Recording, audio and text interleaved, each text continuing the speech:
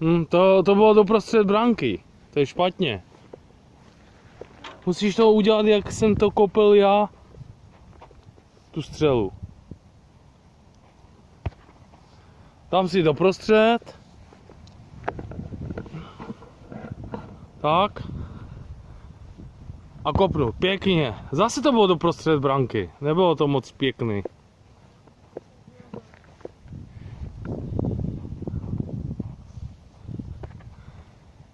Dej si to blíž. A míř, kde řekneš. Nevadí. Dej si to blíž. Před tou bílou čárou. Pěkně. A zase doprostřed.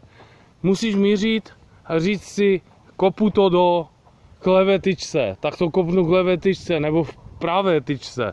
Udělej to, jak jsem ti to ukázal já. Tak je to úplně nejlepší. A musí to tam letět nejlépe. Ne, že se to tam doplazí. Dej si to doprostřed, na penaltu. Doprostřed. Před bílou čarou. Ano. A teď, ne, stůj, stůj. Řekni, kde to kopeš. Ne, doprostřed to nekopej. No ale nekopil si to doprostřed. Zase si to kopil právě tyčce, místo doprostřed.